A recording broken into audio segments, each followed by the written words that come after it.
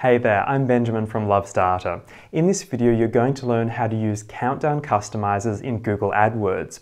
Using a countdown customizer in your text ads allows you to include dynamic details about when an event is going to take place. For example, you can use a countdown customizer to highlight when a sale is ending, when a product is launching, or any other event. The countdown will automatically update depending on when someone sees your ad.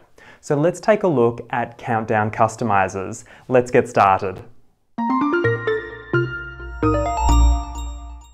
Here are two examples of ads that include a countdown customizer. We can see the ad on the left says that the sale ends in three days, and the ad on the right tells us that there's a free webinar in three days' time. And here's what happens if we saw these ads the next day. We can see now the ads say two days instead of three and in the hours leading up to our specified date and time, the ads will look like this. We can see they now say 4 hours. As we can see, using countdown customizers can make our ads more dynamic and more engaging as people see them. So let's head to Google AdWords to see how we add countdown customizers to our ads.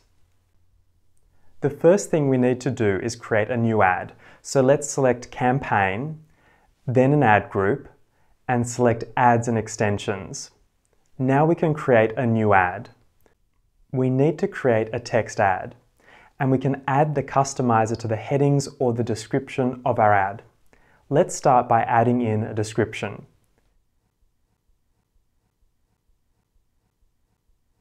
And then let's add an opening curly bracket to our description. We can see that we can select from different types of ad customizers.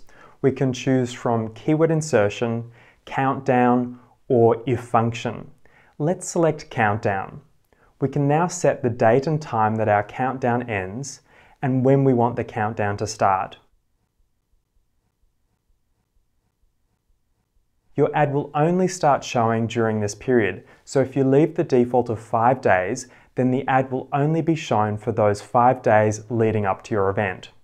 Your ad will also automatically stop showing once the event date and time has been reached. You can also choose if you'd like the countdown to be based on the time zone of your AdWords account or the time zone of the person viewing the ad. If you're running a sale or promotion that hasn't been scheduled at different times around the world, then you'll probably want to use the time zone of your account so that people only see the ad when the promotion is available. Then when you're happy, you can click on Apply. The ad now includes the Countdown Customizer.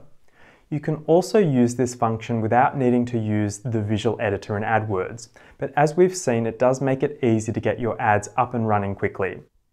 So that's how you can add a simple countdown to your text ads in Google AdWords.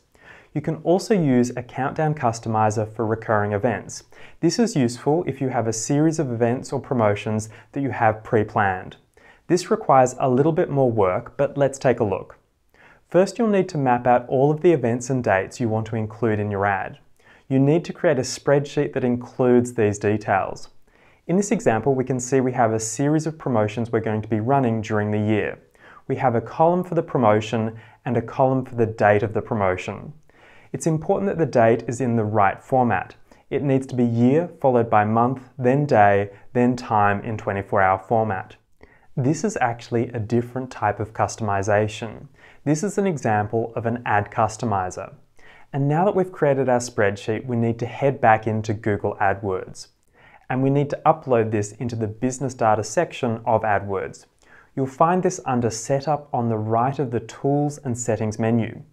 We need to name the Ad Customizer data source.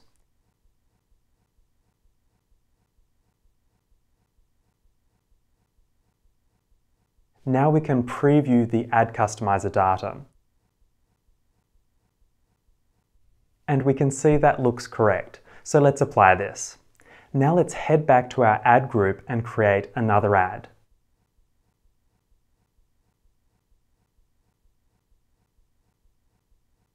And let's add an opening curly bracket to the ad. We can now see there is an additional option that lets us pull in our ad customizer which we just uploaded. So let's select this option and select the data source and we can now choose the name of the promotion.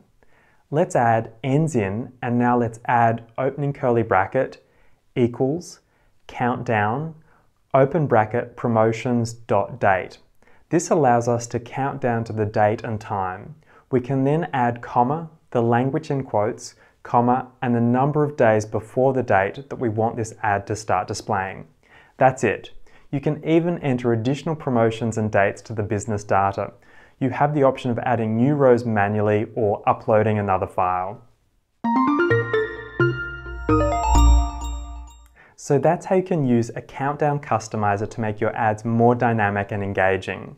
And as we've seen, you can even use the countdown customizer for recurring events and promotions. Just remember that your ads will only show for the days before the event that you've specified and will automatically stop showing when the event date and time is reached. So just make sure you're ready with other ads when your customized ads aren't running. Are you using countdown customizers with your ads? Have a countdown idea you'd like to share? I'd love to know. Let me know in the comments below. And if you found this video helpful, then please like it so I know to make more videos like this. See you next time.